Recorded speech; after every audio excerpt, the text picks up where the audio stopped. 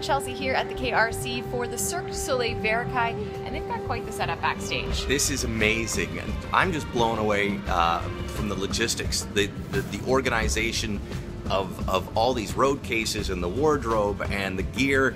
I'm sure the, I'm sure this, the show itself is going to be pretty cool, but I'm I've seen a Cirque, a Cirque show before, and I know they're fantastic. But what I didn't know is how much they travel with. We were listening to uh, their PR person, and they even travel with their washer and dryer. Yeah. They take care of everything. So we're going to take some behind the scenes look, maybe talk to a performer, maybe talk to the wardrobe. We'll see what we can get, and we'll keep you in the loop.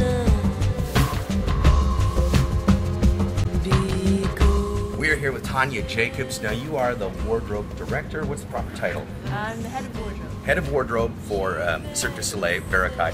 This is a, a, a huge logistical, uh, for many people, I would think a nightmare. But but what I'm curious about is, as the head of wardrobe, how many of these costumes are uh, your come from your own concept?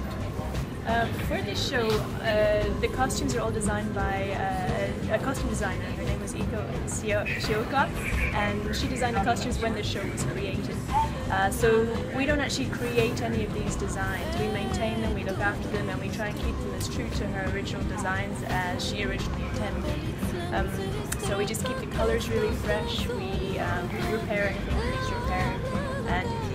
And if sometimes there's an artist that needs to learn a new trick, we need to adapt the costume, we'll work on that. But again, in line, very much in line with the idea of, of the, the designer at the beginning of the show when it.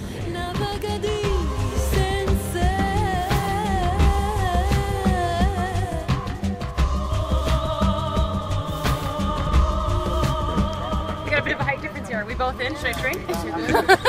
All right, we are here with Soon, who is a slippery performer. Is Yes. that what it's called? What is a slippery performer?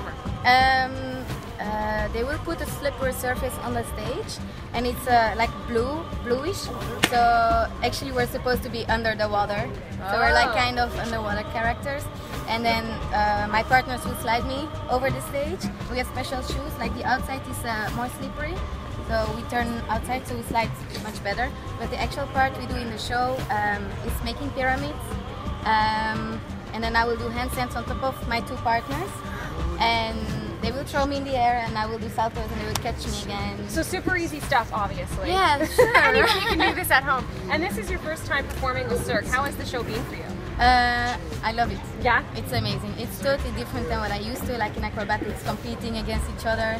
Um, now it's more like having fun and really enjoy the things you're doing. It- Well, we're very excited to see you in the show. We wish you all the best this weekend. thank you very and, much. and you can check out Cirque as well. Just log on to the KRC box office and grab your tickets. Thank you. Oh, no.